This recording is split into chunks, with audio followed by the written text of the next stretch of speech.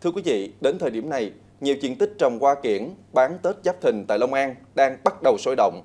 Theo thống kê cho thấy, diện tích trồng hoa kiển năm nay đã tăng trở lại so với cùng kỳ. Hiện toàn tỉnh có khoảng 1.500 hecta đất trồng hoa kiển, cùng hàng trăm ngàn chậu đang chuẩn bị thu hoạch bán Tết, tập trung nhiều ở các địa phương như Cần Đước, Cần Chuột, thành phố Tân An, Thủ Thừa. Trong đó nhiều nhất là các giống như dạng thọ, sống đời, dừa cạn, hướng dương, cúc. Riêng qua mai là cây trồng dài năm nên diện tích trồng không có nhiều biến động so với nhiều năm trước. Hiện toàn tỉnh có gần 2.500 hecta mai được trồng tập trung ở các huyện Bến Lức, Thạnh Quá, Thủ Thừa. Theo phản ánh của các nhà vườn, do nhiều mặt hàng giá vật tư đầu vào như phân bón, thuốc bảo vệ thực vật tăng mạnh và điều kiện thời tiết bất lợi đến cây trồng nên giá thành sản xuất qua Tết tăng thêm khoảng 20% so với năm trước.